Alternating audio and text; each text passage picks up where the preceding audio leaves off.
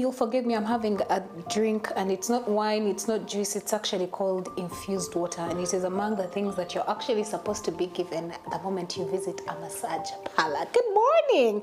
And thank you for joining us this morning on Sunrise at See You just in time for your beauty, wellness, and lifestyle segment. Well, this time on beauty and lifestyle, we're going to be discussing massage as a therapy. Do you know that massage is not just about beating, beating, beating your body? No, it's actually therapeutic, and that is what we're going to be discussing. Of course, I am not a qualified massage therapist, so I am no one to tell you really what to do. But joining me at the center of this discussion again is the gorgeous Yvonne. Good morning, Yvonne, and thank you so much for joining us this you so morning. much. Absolutely. So today we are going to be talking about massage as a therapy. So for someone, first of all, let us break it down. What do I what do we mean when we say we're talking about massage as a therapy? Therapy is something that is, um, no pun intended, but a remedy, a solution. Okay. So we have so many things that are going on. Our bodies are breaking apart. We stand for too long. We are possibly seated for too long, and our bodies are possibly not getting the exercise and the movement that they need. And massage now comes in to aid in that. That is why it's called a therapy. Okay. So what are some of the techniques used during massage? Uh, we have different techniques. There is, I will name them as we call them. Okay. Um, there is techniques, uh, for example, effleurage, petrissage, um, friction, vibrations. All these are techniques used together to come up with a massage. Okay. So all these techniques are combined when you're doing a particular massage or they are used in all types of They are generally used in all types of massages. The variations will come in with uh, medium, being like the oil used. Some massages don't use oil, or um, pressure, or tools that are used in a massage. Okay, so now today our emphasis is looking at massage as a therapy. So the first things, what are some of the questions for someone who decides to walk in to have a massage for the first time? What do they need to ask their massage therapist? um, actually we need to ask them Mm-hmm. um, so that we can be able then to place them in a certain category and see um, which massage would be best for them. Number one is have they had massage before? If it is your first experience with massage, then you don't want to throw in someone and have maybe something like a deep tissue, it may be too strong for them. Number two is what their budget is, and they possibly may not have enough money for our higher end massages, and also what how much time they want to spend in the spa. Then that would help us to be able to offer them something that suits them. So is there a time when someone should avoid having a massage? Um, this we call contraindications. Yes, there are times you should avoid having a massage. Um, the one that comes to mind immediately is pregnant women in your first trimester. We avoid taking care of them because that's also a very sensitive period. After they go into their second trimester, then we can take them in. Okay, so is it advisable? Are you allowed, first of all, I need to understand, very many people during a massage time, you know, they're allowed to sleep. You're not allowed to talk. Why is that so? so that you can give your mind that time. Uh, we are in a very busy world. We're interacting with people all the time. When you come here, you want to come here and relax and unwind and just be in your thoughts. There are very many solutions that you can find when you're just in your alone time, and that's why you find most spas will have the ambience, the music, even um, uh, the the lights will be dimmer to give you the sense of like it's time to sleep. So your body now relaxes and allows us also to go in deeper. Because when your muscles are stiff and you're tensed, it's it's harder for us to work. Okay, so now let's look at the different body types. So one would say body textures. Would you base the types of massages that you give to the kind of people that come in looking at their body types, their body textures, and also their skin? Mm-hmm. Skin, not necessarily, unless maybe they have a skin condition going on. Body types, yes, but mostly for how active someone is in their lifestyle. Because then this comes in because it affects your muscle tone. If you're active and you're working out all the time, a Swedish massage may not work for you because your muscles are toned and you may not feel it. Okay. Yeah, if you're someone like me who's not that active, a Swedish massage can relax me because I, my muscles are not so tense. I mean, not so tight, rather. Okay, so now let's break down the different types of massages and which category of people specifically should go for them. Okay, um, the most basic that you will find in all spas is a Swedish massage. So this falls in the category of more relaxing. So it will have low to medium pressure.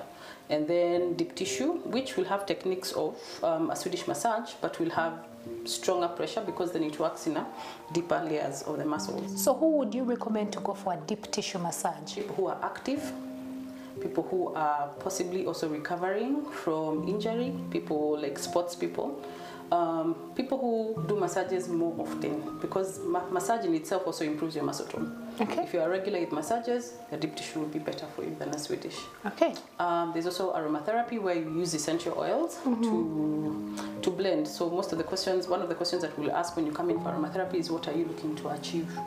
Yeah, if you're looking to relax, maybe you could have a headache or you have strain in your muscles, and we can blend oils to suit whatever you're trying to solve.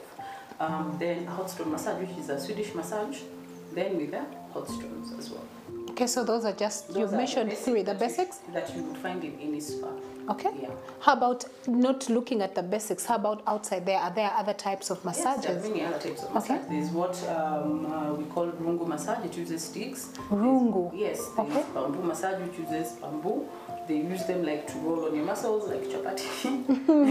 so those tend to be on the deeper side, but they can also be relaxing depending on the pressure that is used.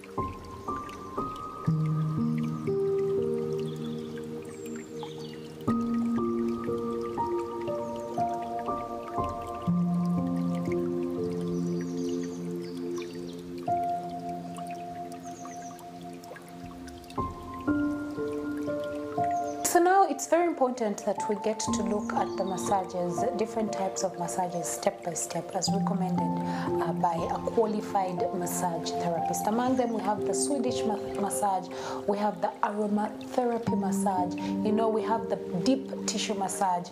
She told me there's even bamboo massage, snake massage. All these massages are very important depending on what exactly you're looking for or the kind of body texture that you have or the activities that you do. It's very important that you classify so that you're able to understand the kind of massage that you're going to be having. Okay, so we're talking about the different types of massages, and you gave me about three or four. And you earlier on behind the scenes, you're telling me how you walked into a place and you found a snake massage. Now, which one is that? There are places where, but not here, um, in the Asian world where they do, they pour snakes on your back and the snakes will just roll on your back. And that is also called snake massage. Are you sure that is a massage, not That's torture? why I say most of the that now have are coming up is they're a bit out of the norm for the adventurers and if you are bored out of your routine, out of the normal massages that are in the spa. So I need for someone watching us this morning, they need to know what to expect on their first day when they come to a massage parlor. Okay. So that they are not shocked like that that friend might be me, but anyway. Um, uh, depending on the massage that you're having, um, you will be required to undress, but most spas will then cover you. So you are covered, and we do preserve your modesty and ours as well, so you're not like out there naked. We offer you um, disposable underwear out of you don't want to damage your own with oil and product, but there are people who prefer to keep their own, which is also okay. Um, certain spas will have um, facilities like a steam room, a sauna, and you would want to also use those as well. So make sure that you're asking all these questions before you go in. That way you don't go and get Yes, shocked. surprised, yeah, yes. surprised. There are also spas that have both female and male therapists. It's nice to ask, depending on what your preference is, and you can book in maybe with a therapist that you're more comfortable with. okay, so any last remarks? Um, massage is good for you. Just like that. Just like massage that. is therapy. It is Yes. good. It is very important. By the way, the first advice that I would give to someone who is going for massage for the very first time is that you need to speak up or mm. speak up if you're in pain. In- yes. Ask questions, mm-hmm. those questions that we may read, that we may mm. as silly. Of course, it's quite absurd that some massage parlors mm. that you walk in and you ask questions. Some may be like, ah, that girl has kajanya, but ask questions because at the end of the day, it is your body. And just like that, you have had and understood that massage can actually be a therapy. It's not a bougie thing, it's not the thing for the rich, it's something that actually helps to relieve and reduce the stress on your body. Two things that you must take home, or two things that I have picked out. It's very important that if you decide to go in for any massage, learn to speak out. Are you in pain? Ask those questions. Like, you see those smallest questions do I need to undress? Who is going to massage me? Please ask the question so that you don't get irritated when you enter the room. But otherwise, that wraps up what I had for you this morning on beauty, wellness, and lifestyle. Keep watching Sunrise at SEE because we still have so much more in store for you and don't blink.